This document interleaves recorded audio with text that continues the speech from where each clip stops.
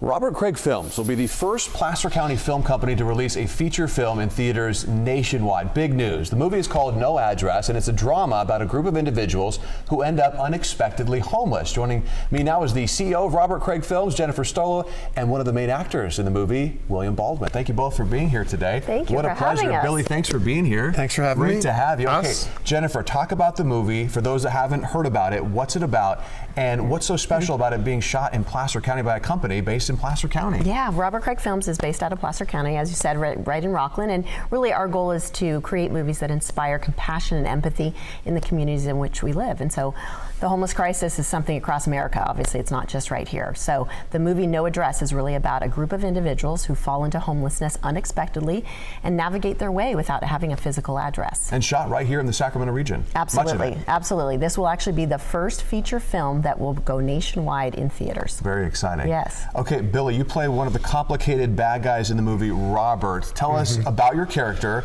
and then tell us why you decided to do this film. Well, Robert is a complicated character, and, and part of the reason we're here doing a little bit of additional photography because he is the character that they actually. Sh- I, I always often see this in my life when someone has an addiction issue or a mental health crisis or they're they're homeless, and I'm like, I wonder what chain of events occurred in their life that led to that allowed for this to happen like what were the how did the planets align in their life going all the way back to their childhood you know and sure enough that's the role of the character of robert is to show you how you can go from being a real estate wonder boy one minute with a wife and son, and then all of a sudden the planets align and conspire against you, and you, you and your entire family, family wind up homeless. Very interesting. And what did you learn during this role? Was there anything that surprised you about the content? Well, uh, you know, there's.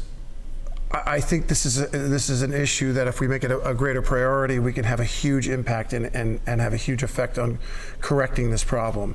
It's a complicated issue, uh, but um, the, the programs that are going on, right here in Placer County are incredible. I visited some of the facilities this morning, spent some time with the staff and some of the people living there right now, and uh, heard some really, really beautiful, powerful, powerful stories. But you know, if we put our minds to it, we absolutely we are one of the most influential, powerful, wealthy countries in the world, and if we wanted to address this issue and eradicate a very marked percentage of this, we could do it pretty quickly. There's a group that's doing this work with, with vets, and in three years they were able to eradicate like 75, 80% of the, the vet homeless crisis in that part of the country, and we could do the same thing right here. I love your perspective. Jennifer, it's a Robert Craig Films nonprofit, correct? Uh, no, we are No? for profit, Okay. but we do have a nonprofit. Nonprofit arm, and that's what I wanted to ask you about the, the Big Five Give Back. So this is this is going to be huge. Yeah, so Robert Craig has a huge heart, you know, and so when we wanted to study and make sure that this movie was authentic, we went across the country and actually made a documentary out of it. And from that was really inspired by the nonprofits, agencies, organizations that are addressing homelessness. So we've decided to give back 50% of the net proceeds from all five productions, our movie, documentary, book, soundtrack, and a study guide that's coming out this year to those nonprofits that are addressing homelessness. Okay, and how is Let me the- just say something. Yeah. If you are, if you are giving away 50% of your net proceeds, Yeah, you are huge. in the entertainment business. You are a nonprofit. It might as well be, right? You are incredibly generous. You are incredibly kind, and that's what I love about Robert Craig and everybody working there. Yeah.